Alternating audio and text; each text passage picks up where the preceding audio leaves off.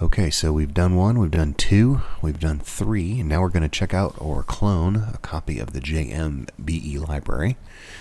And uh, come up here and hit clone, and then I'm going to copy and back to my terminal with a sudo git, that's git G-I-T, sudo git clone. So sudo git clone, and it looks like We've received 342 documents, 5 megabytes. So let's see what we got in our, see what we got in our, what do you call it here? Downloads. ls, we got a JMBE folder, so let's cd into the JMBE folder. And ls again. Looks like we got another JMBE folder, so cd into this JMBE folder.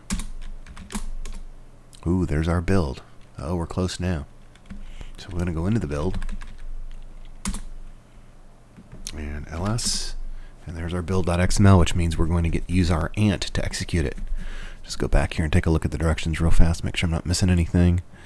All right. In the build folder, execute the ant. This will compile everything. All right. Let's go for it. Build failed failed to create the missing parent directory for home downloads JMBE.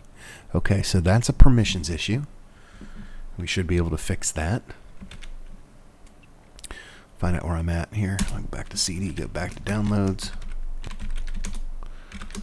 Alright, so there's JMBE. So, in order to fix that, uh, first thing we can do is uh, do an ls slash l so we can see what the permissions are. All right, so here's what we're going to do. We're going to do a sudo and a chmod and a dash r. I believe that's for recursive.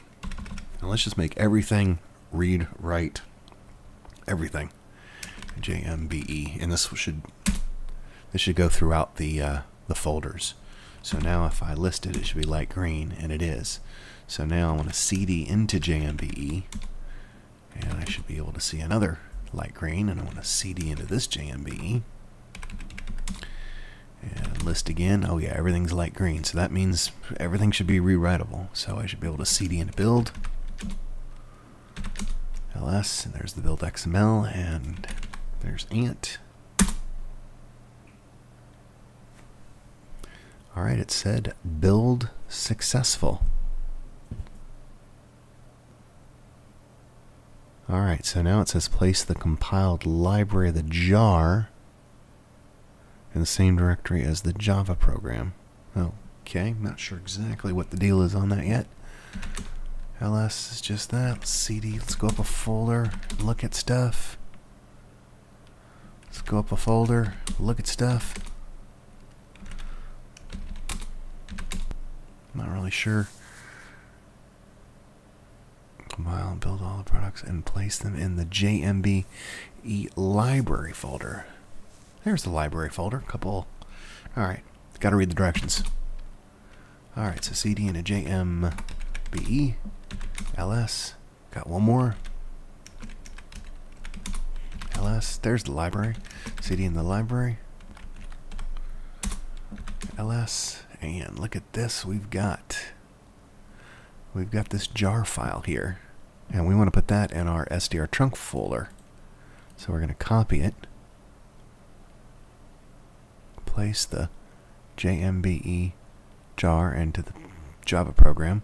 So why don't we uh, sudo copy this folder, or excuse me, this file right here, and let's put it in um, home ss sdr trunk.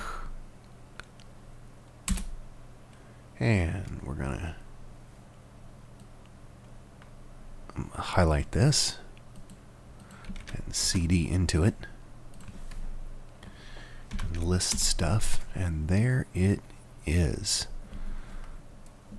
Okay so I think we've done that Go back. See if we've missed anything. I think we're there. All right, so first thing we want to do before we forget, I want to CD back into downloads and list. That's my JMBE. So the one one thing I want to do is I want to change the permissions back. sudo ch mod cursive dash r. I'm going to change this back to 755. I think is what it was.